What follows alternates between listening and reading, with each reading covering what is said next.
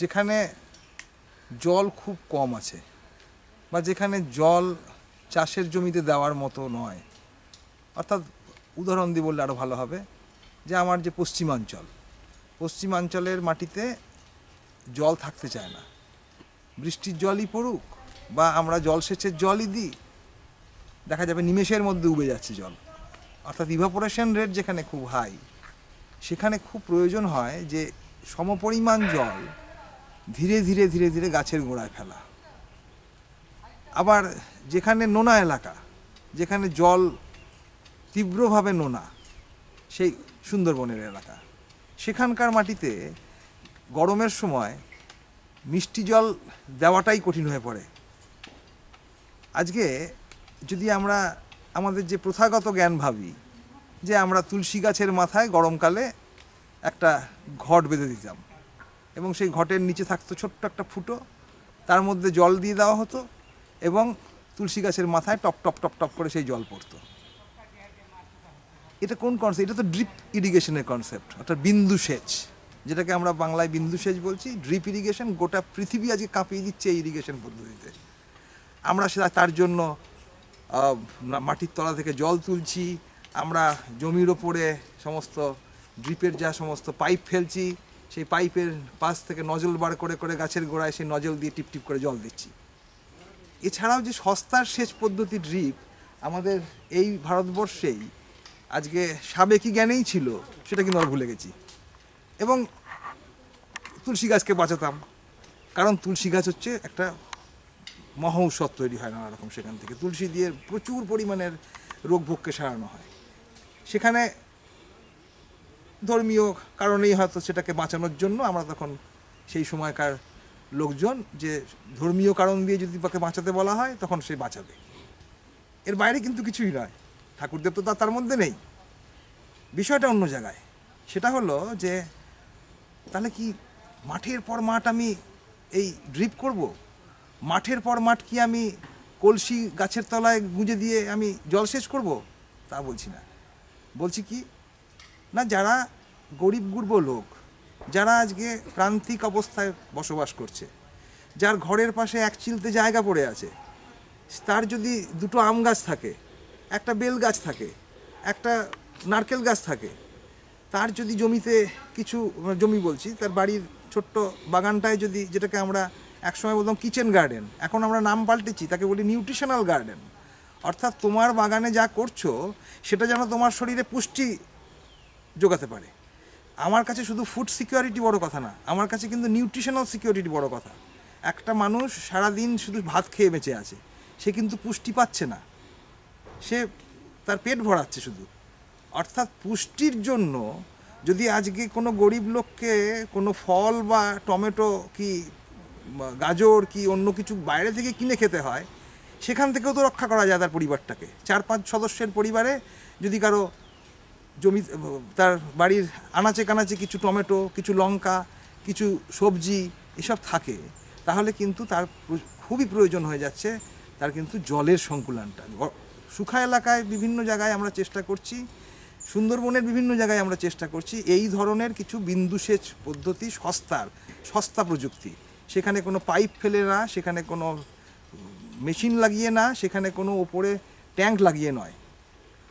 আজকে গোটা পশ্চিমবঙ্গে যেমন রাজ্য সরকার এবং মাননীয় মুখ্যমন্ত্রী যেভাবে চেষ্টা করছেন যে বিভিন্ন কোণে কোণে সমস্ত প্রযুক্তিগুলো পৌঁছে দেওয়ার সেখানে লার্জ স্কেলে যেমন প্রযুক্তির কথা ভাবা হচ্ছে সেখানে যেমন ট্রাক্টর পাওয়ার টিলার রিপার এরসব মেশিনের কথা ভাবছি তেমনি এটাও ভাবা হচ্ছে যে গরিব লোকটা তার বাড়িতে প্রান্তিক মানুষ প্রান্তিক মানুষ কি করে?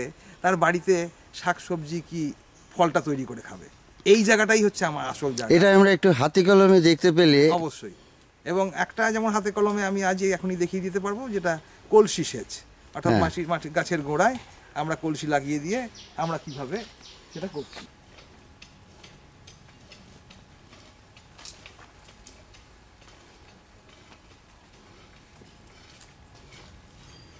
কলসিটা তুমি বসো এখানে।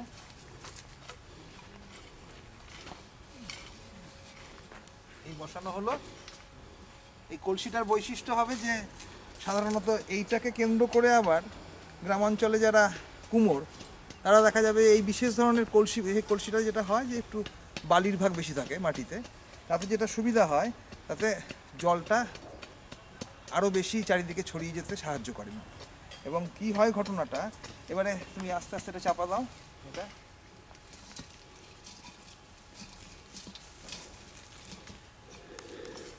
এইটাকে ঢাকা দেওয়া পর্যন্ত ব্যবস্থা হবে।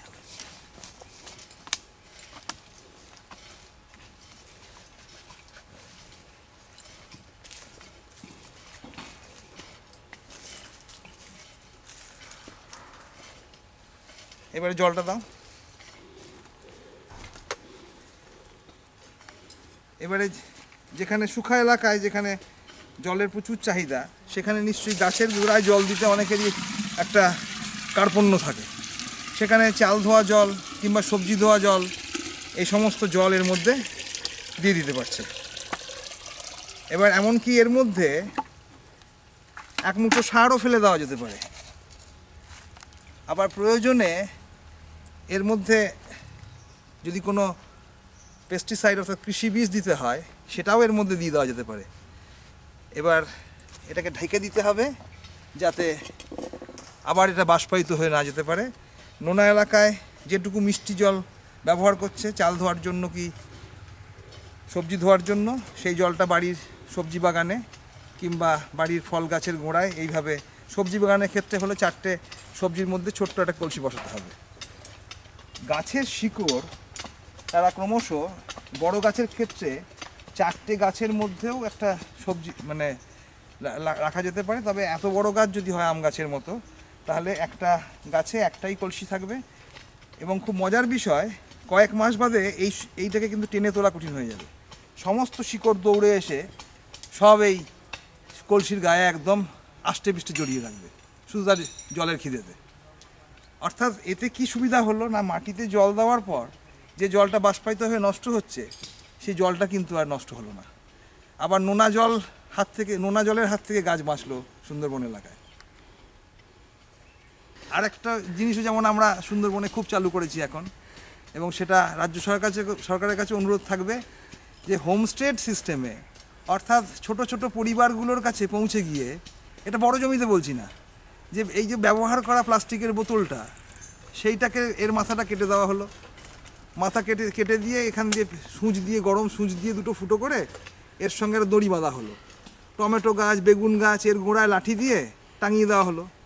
এর নিচে ছোট্ট একটা ফুটো করে দেওয়া হলো। আবার সেই তুলসী গাছের মাথায় জল দেওয়ার পদ্ধতি। তাহলে প্লাস্টিকটাও বাঁচলো, এই প্লাস্টিকের বোতলটাও যেখানে সেখানে ফেললাম না। আর ওই প্রতিদিন ওই এর মধ্যে কি জলটা দেওয়া হলো, মিষ্টি জলটা, বা শুখা এলাকায় যে জলটা দিচ্ছি আমরা। আবার অনেক ক্ষেত্রে এখানে যেটা স্যালাইনের যে ড্রিপটা পাওয়া যায়, সেই ড্রিপটা লাগিয়ে দিচ্ছি আমরা। টপ টপ টপ টপ করে জল পড়ছে। হ্যাঁ এরকম নতুন নতুন ভাবনা চিন্তা নিয়ে এইসব বিজ্ঞানীরা আমাদের মগ্ন আছেন। ভবিষ্যতে আমরা তাদের কাছ থেকে এইভাবে আমাদের কৃষি সম্ভাবনার আরও অন্যান্য চিন্তাধারার কথা জানতে পারব। ধন্যবাদ, ডক্টর ব্রহ্মচারী। নমস্কার।